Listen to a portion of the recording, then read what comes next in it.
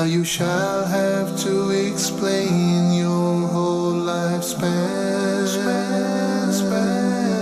What you did in the open and what you conceal. From big to small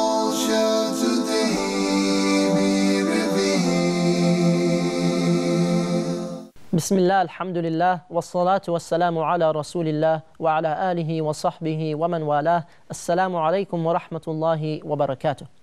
My dear brothers and sisters, welcome to another episode in our series on the journey to the afterlife. And throughout this series, we have been discussing the journey of the soul after death and the stages of the day of resurrection and we discussed in the last episode the importance and the virtues of good manners in this life and on the day of resurrection. And we ask Allah subhanahu wa ta'ala to grant us good manners so that we are safe on the day of resurrection. Today, inshallah ta'ala, we want to talk about the concept of shafa'ah, intercession. And this is a very important concept to understand because it will take place on the day of resurrection in so many ways. It is so important. And so first, before we talk about shafa'ah, we want to define what does it mean to intercede? What is intercession? What is shafa'ah?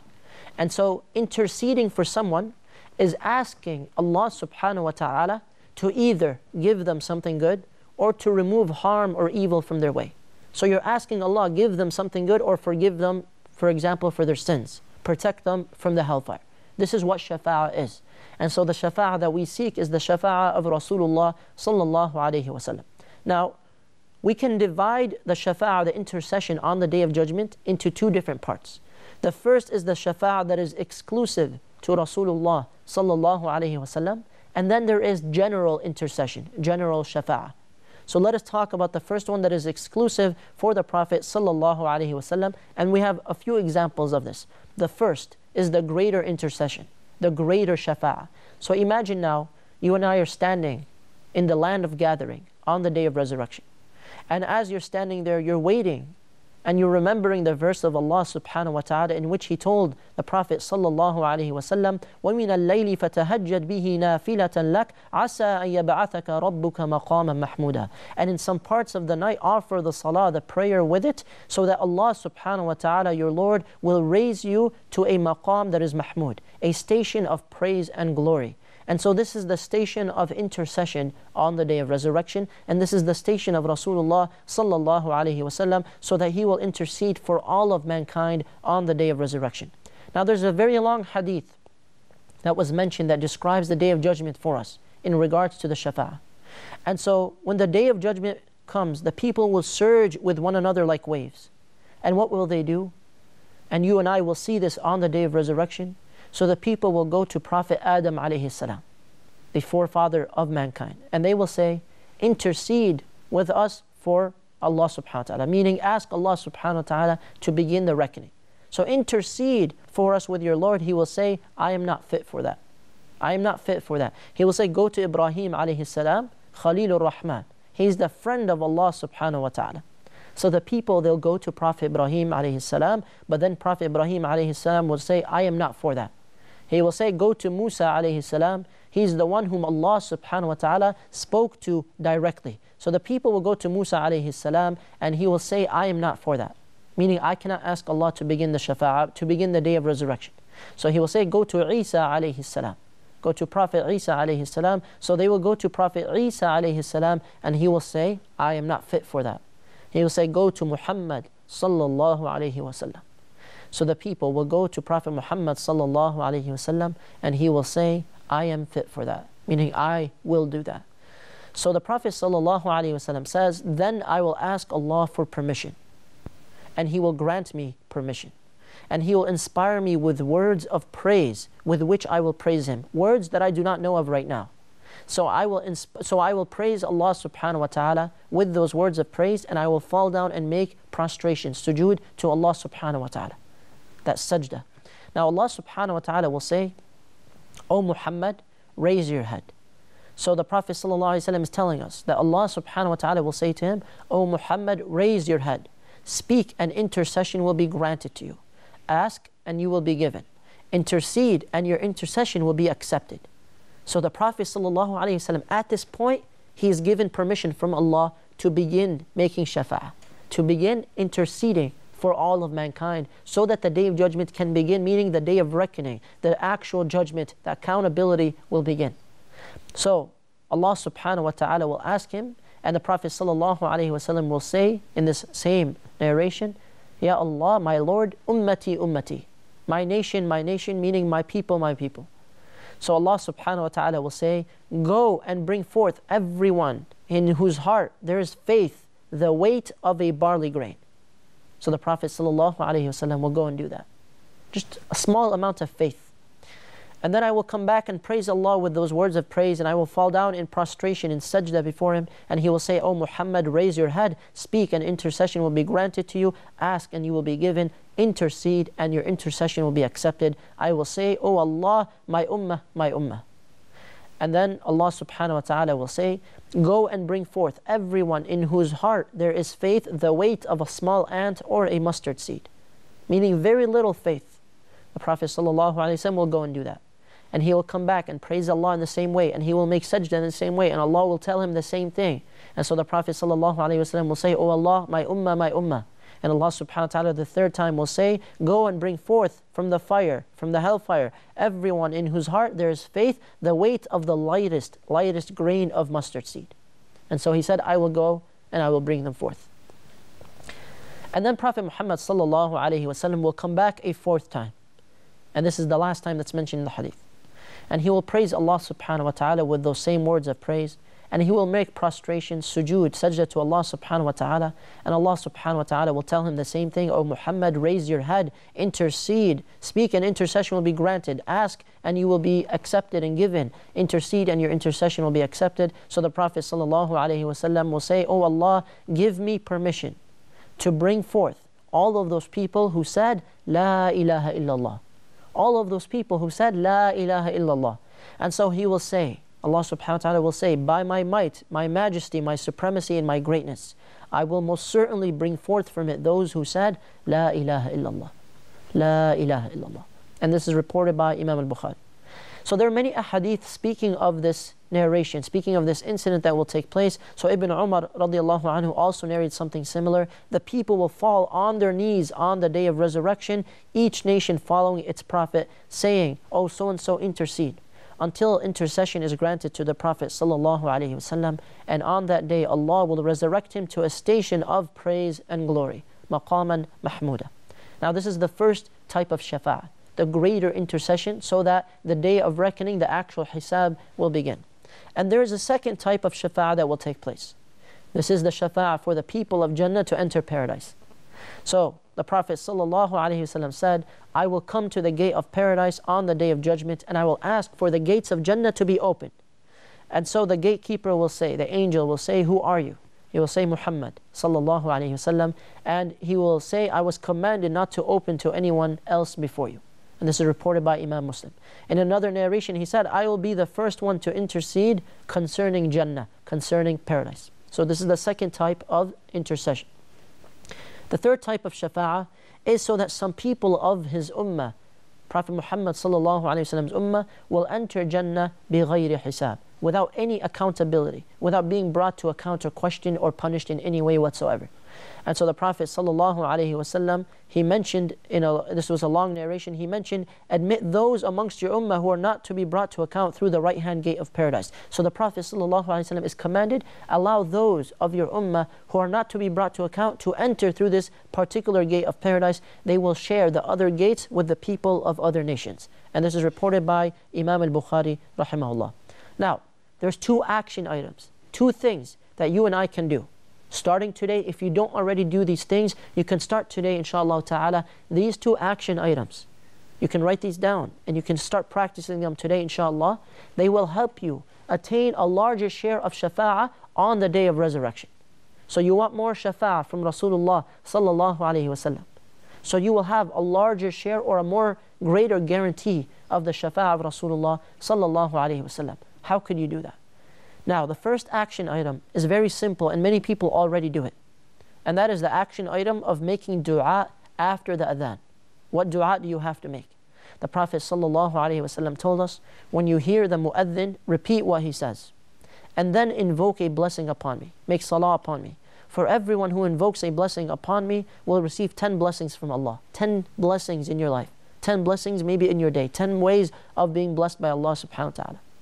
Then beg from Allah al-wasila for me, which is a rank in paradise fit for only one person, one of Allah's servants, and I hope that I might be that one person.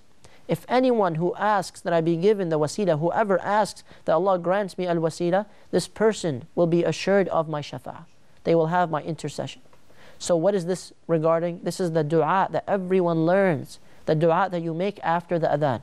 اللهم رب هذه الدعوة التامة والصلاة القائمة آتي محمد الوسيلة والفضيلة وابعثه مقاما محمودا الذي وعدته.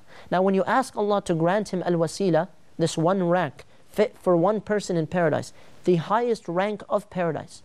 Now, there is a level of Jannah, gardens of Jannah, the highest gardens are called Jannatul Firdaus, but within that level there is a special rank for one person, only one human being, and that is Rasulullah sallallahu alaihi wasallam.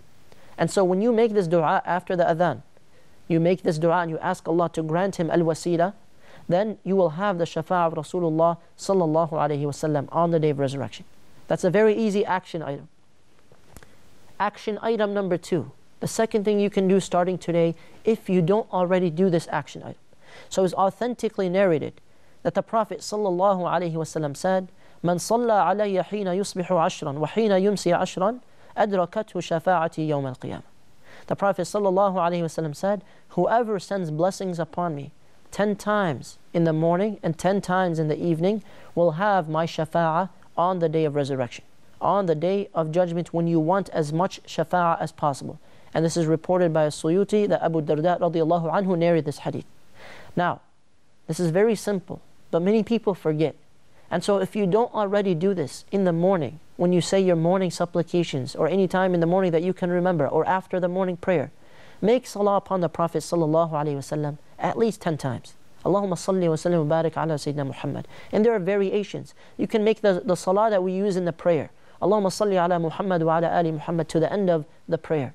So you can make any type of variation of salah upon the Prophet sallallahu alaihi wasallam, and it doesn't take you that long, perhaps less than one minute. And because you do this beautiful habit, you have so many blessings from it. You have the guarantee of shafa'ah on the day of judgment. The day that you need shafa'ah, you're standing there in this heat waiting for the hisab and you need some kind of help, something to help alleviate and remove your sins and to help you reach paradise. And so you need shafa'ah on this day. And because you made this action item a habit in your life, morning and night, you will have the shafa'ah of Rasulullah on the day of resurrection.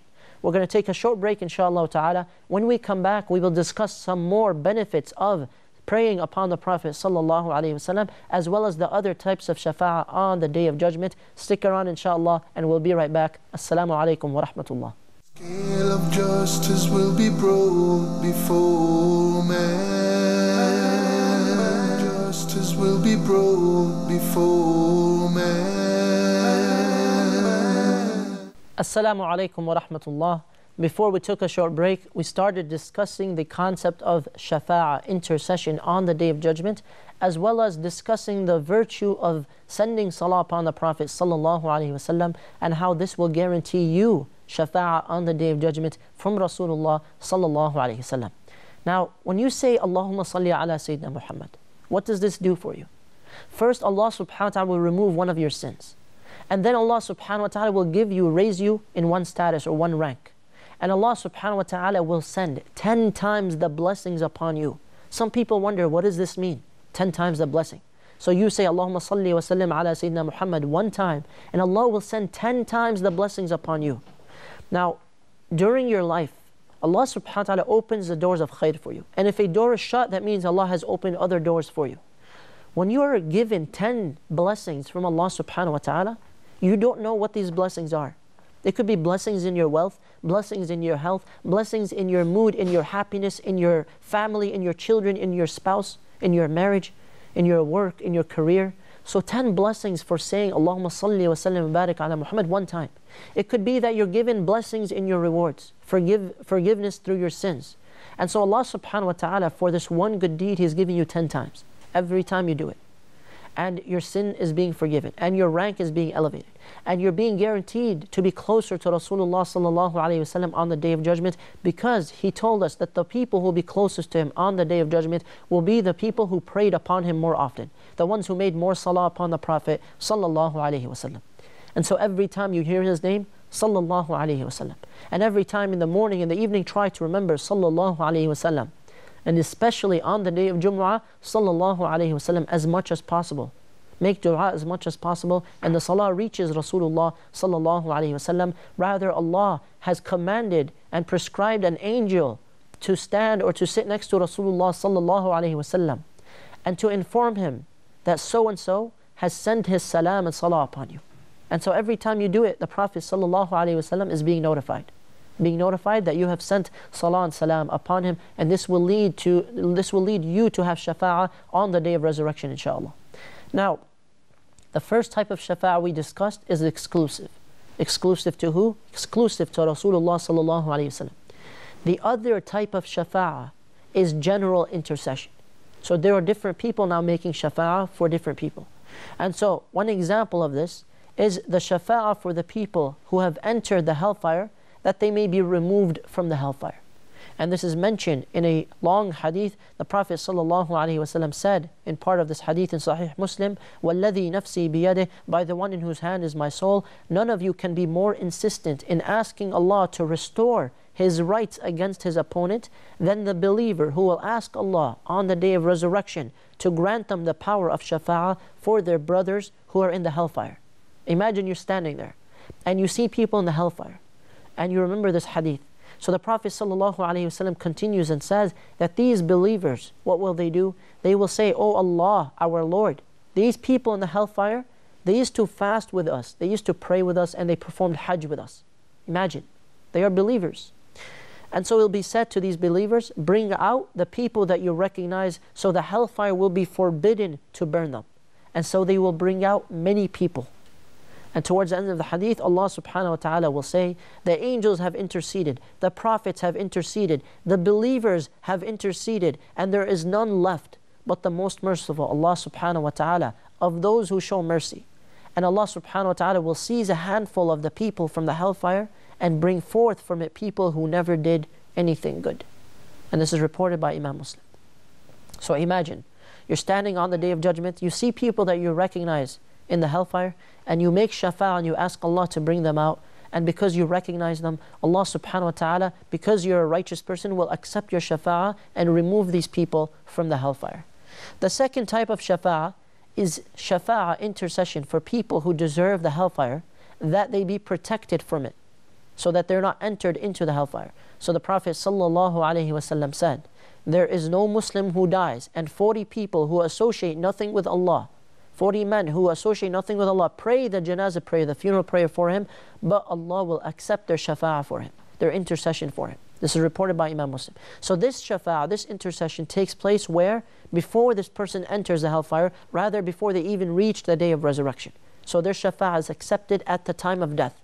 So these people pray janazah, 40 people. And we mentioned in a previous episode some of the things that help the people who have passed away. So people come to pray janazah, and because they don't associate partners with Allah and they make dua for this person, oh Allah, forgive them, oh Allah, accept the shafa for them, Allah subhanahu wa ta'ala will accept their intercession and this person who passed away will be forgiven. And we ask Allah subhanahu wa ta'ala to make us of those whose sins are forgiven. And there's a third type of shafa, and this is shafa for some of the people who deserve paradise, that they may be raised in status in paradise. Think about that for a moment the people who already are going to enter paradise, that their rank be elevated in paradise. And so one example of this is when Rasulullah sallallahu alaihi wasallam made dua for Abu Salama. And so he said, "O oh Allah, forgive Abu Salama and raise his status amongst those who are guided, and take good care of his family that he has left behind. Forgive us and him, O Allah, Lord of the worlds. Make his grave spacious for him and illuminate it for him." And this is reported by Imam Muslim. Now, there's something we need to talk about, something very crucial that happens in our times, and it's very common and it's very sad because it is a, it is a huge sin and it is outside the folds of Islam and what is permissible in Islam. And so, the shafa'ah that is present in this world, that takes place in this world, some people fall into this deviancy, this misguidance because of ignorance or blind following. And so this is something that should be brought up regarding the shafa'ah of Rasulullah sallallahu alaihi wasallam right now in this world, in our times. And so this includes seeking shafa, seeking help from the people who are dead, the people who have passed away, and the occupants of the grave, and even people who are alive but they're not there in your presence, thinking somehow that they will fulfill your needs or that they can hear you or sense that you need their help. And this is a type of shirk.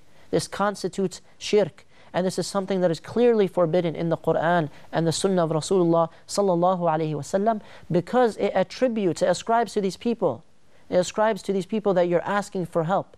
It gives them characteristics which belong only to Allah subhanahu wa ta'ala, the Creator, and Allah subhanahu wa ta'ala is the only one that can help you in this case. And so what starts to happen is in our times, a lot of people will argue that they're saints, they're awliya, or they will start to argue that their sayyids will help them or they will intercede for them or their relatives and they will help them in some way because they love them and that this is something that Allah subhanahu wa ta'ala has given them. This is exactly what the mushrikeen, the early pagans used to say. Allah subhanahu wa ta'ala says about them, وَيَقُولُونَ هَؤُلَاءِ شُفَعَاؤُنَا عِنْدَ اللَّهِ So these people, the pagans, the idol worshippers, they used to say, these are our intercessors with Allah. And this is the same type of argument that people are using nowadays with Muslim figures, with scholarly figures. And so this refers to the people that they worship, the mushrikeen they used to worship amongst the angels, amongst the righteous people and others, and they meant that they would intercede for them with Allah subhanahu wa ta'ala. They would intercede for them with Allah subhanahu wa ta'ala. And in the same way, the contemporary mushrikun say that the awliya, the saints or the sayyids are interceding for them. And so what happens here is people don't realize that we cannot just assume that these people are going to ask Allah subhanahu wa ta'ala. Rather, you have to realize that these people cannot ask Allah subhanahu wa ta'ala on your behalf. But these misguided people, following the footsteps of the mushrikeen, they say, we cannot ask Allah directly. And this is not true. They say we cannot ask Allah directly, so we ask them so that they can ask Allah for us. So we ask them because they're righteous to ask Allah for us. And this is untrue. And this is deviancy, and this is far from Islam and far from the Sunnah of Rasulullah sallallahu alaihi wasallam. Now, some people will say that the Prophet sallallahu alaihi wasallam and all the prophets and all the righteous people, they were given the power of shafa'ah, intercession. And they will say that we call upon them we call upon the awliya or we call upon the Prophet ﷺ and we tell them to intercede for us as Allah has given you the power of shafa. And they give the example, this is very common, of the kings in this world. So they say that you cannot approach a king directly. So what do you do? You approach the people who are close to the king, such as the ministers, the gatekeepers, the servants. So you ask them, because they know the king, you ask them to ask the king for some kind of help. So they, the king can help you with your matters. The king can help you with your needs. And so these people are doing this argument by saying that they need to reach Allah by approaching the awliya, the, the people who are closer to Allah subhanahu wa ta'ala, so called closer, and the sayyids who are close to Him. And by doing this, they are falling into the same type of shirk that those people before them fell into.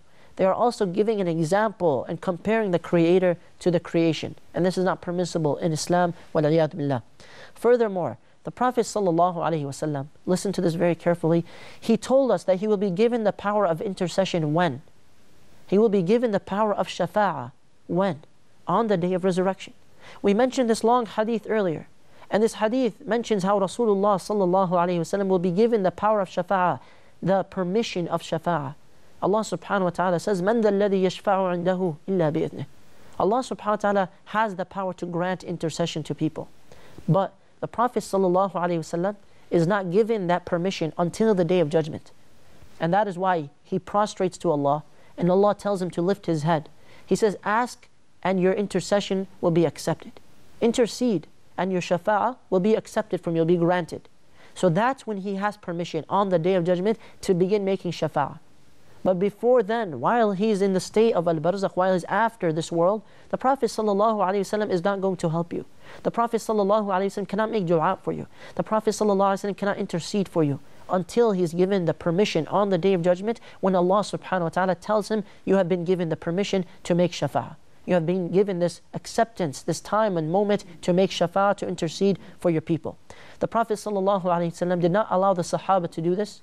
And if you look in the seerah, you will see the, the companions of the Prophet ﷺ never once made shafa'ah, um, asked the Prophet ﷺ for shafa'ah after he passed away. They never once asked him for intercession after he passed away, sallallahu alaihi wasallam. And the Sahaba were the greatest people in hastening to do good, and they are a prime example in following Rasulullah sallallahu alaihi wasallam. Furthermore, the people who say we want to ask the Prophet ﷺ for shafa'ah now, if they want to make this argument and they want to use this hadith, this authentic hadith, all they can ask Rasulullah sallallahu alayhi wasallam is allow us to have the day of judgment begin.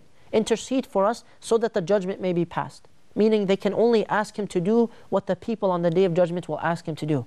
Ask Allah to begin the hisab.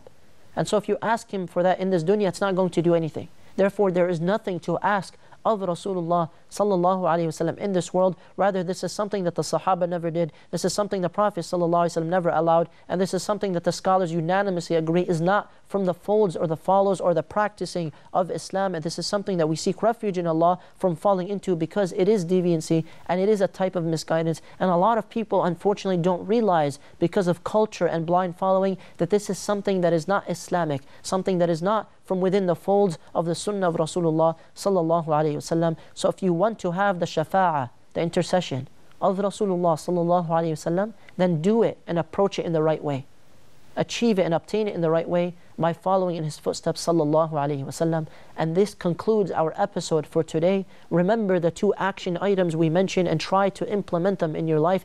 Sending salah upon the Prophet sallallahu alaihi wasallam and making the dua after the adhan. We will see you next time, inshallah ta'ala, as we continue talking about the day of resurrection. And we ask Allah subhanahu wa ta'ala to protect us in the dunya and on the day of judgment. Jazakumullahu khaira. Wa sallillahumma ala nabiyyina Muhammad wa ala alihi wa sahbihi wa sallim. Wassalamu alaikum wa rahmatullahi wa barakatuh.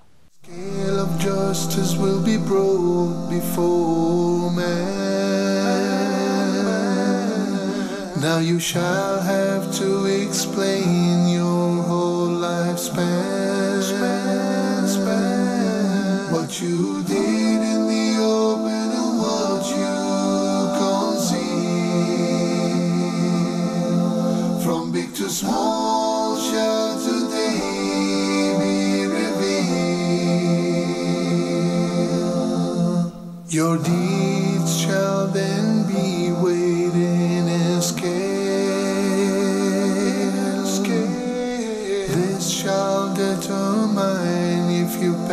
This